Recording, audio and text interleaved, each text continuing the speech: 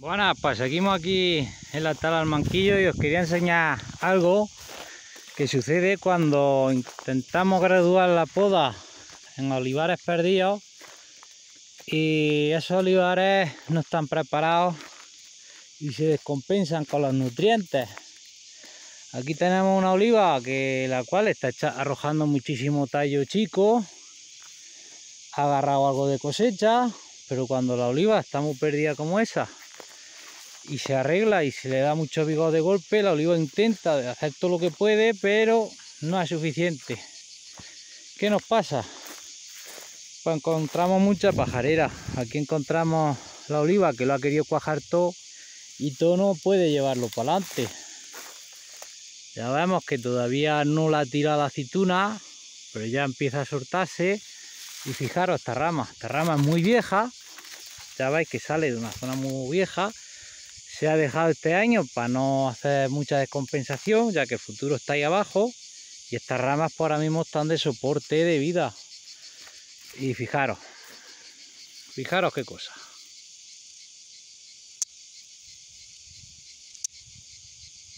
A ver si enfoca bien, que es que no, nos coge el fondo y no nos enfoca. Fijaros. Esto es una barbaridad, esto no lo va a soltar ya la oliva. Incluso si cogemos de las más gordicas, puede que hasta tenga huesos ya y todo. No tiene huesos, pero ya lo está haciendo. O sea que esta aceituna pajarera ya no la tira. Fijaros qué barbaridad. Cuando cuaja tú, ¿eh?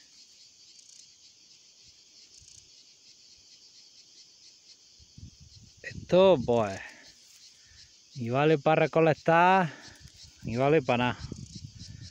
Lo único que vale es para los pájaros.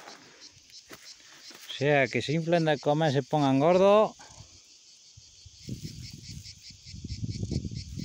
Que esto ya es para ellos. Fijaros. Una barbaridad. Cuando ha podido tirar, que ha tenido suficientemente fuerza, pues han tirado por las que más se habían pillado. Pero daros cuenta que aún con todo lo que ha cuajado, se ha dispuesto a echar buenos tallos para la próxima cosecha. Y a la próxima cosecha la oliva estará de otra manera y ya pues se centrará mejor y ya pues echará mejor la cosecha. Daros cuenta pues que esta oliva el primer año, el segundo año que se arregla, estaba envuelta en monte, se la ha quitado, se le ha dado una curilla al monte y la oliva pues está doblaica. Aquí tenemos otra que estaba comida en el monte ya estáis viendo aquí todo lo que hay echado a un lado y lo mismo ¿veis? lo mismo. Ha intentado echar mucha aceituna tiene mucha aceituna pero la oliva no puede con tanto. Esto antes eran cuatro palotes. Fijaros por dentro cómo está de palotes. Esto a base de vibrarla luego con la máquina se le van a ir sacudiendo pero hay que fomentar aquí ya una oliva nueva. Hay que ir renovando las renovaciones están aquí. Y sí, vemos que es una oliva que está respondiendo, pero hay que renovarla.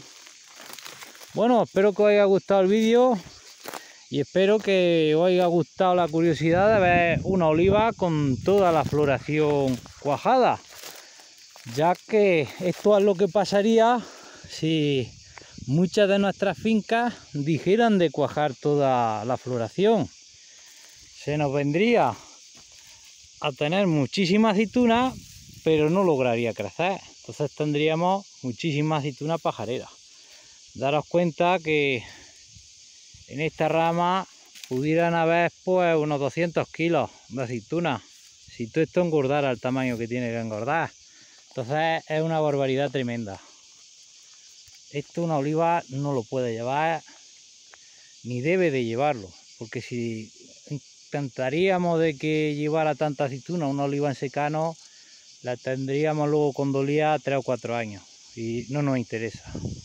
Bueno, como siempre, un saludo a todos, os invito a que os suscribáis al canal y hasta el próximo vídeo.